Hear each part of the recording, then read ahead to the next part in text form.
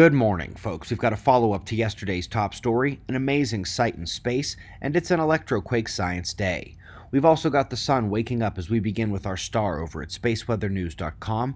Everything interesting is up north. Dark coronal hole, bright active region umbral magnetic fields cresting over the limb, kind of like how the sun looked in early 2011 right before ramping up the remainder of the year. Solar flaring is on the rise due to the incoming active region X ray production, but thus far just a background enhancement, no flares. Just ahead of those towering arches, a little spot turning in is trying to puff out another active region and just needs a few more weeks of Wheaties, it looks like. We're in full monitor mode, and luckily the solar wind is less of a time stealer at the moment.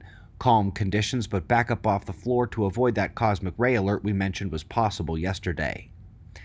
Sometimes you find things in unexpected places. This crew, including Michael Mann, is 100% human fault global warming. They are taking the salinity changes we saw yesterday, the ones where the southern ocean salty region is piling up and getting saltier, and while freshening areas are getting fresher, and confirming it.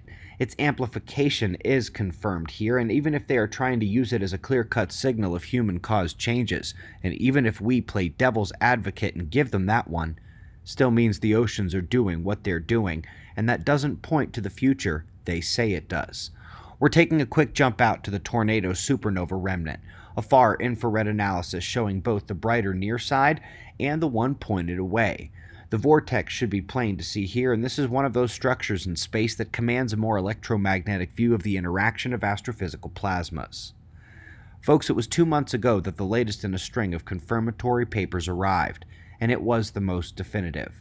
The sun triggers earthquakes via induction and indirect current amplification through the global electric circuit, which moves the water, metal, and crystals underground, discharges their capacitance with more translocation potential, and we're beyond just the statistics. We now know how it works, which is major points for everyone who said that pre quake electromagnetic signals could be used to forecast them. That's a pretty good introduction to today's three new papers. First, based on the literally hundreds of papers on this topic now, and the textbook on pre earthquake processes by the AGU, this one has a way to monitor if these pre quake changes are also changing the gas chemistry in the region. It's been done with radon, but they also think these processes will show carbon changes.